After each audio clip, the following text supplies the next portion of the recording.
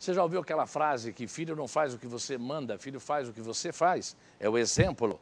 Será que no mundo animal dá para se aplicar a regra ou não? Quer ver? Vem aqui comigo. Vamos dar um pouco de risada. Olha lá, ó. Desce aí. É muito engraçado o bichinho, né? Fala a verdade. Olha lá, olha lá.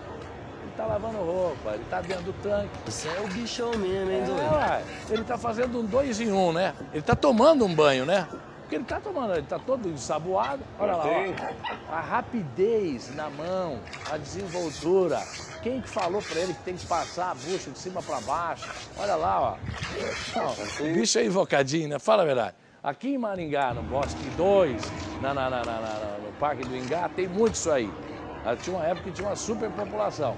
Olha a rapidez lá como é que ele faz, ó. Ele abre a roupa e aí ele lembra que ele tem que pegar a bucha, olha lá, ó. Aí ele vai lá, dá uma socada e. É engraçado, pra gente rir um pouco, porque é muita notícia pesada, pelo amor de Deus.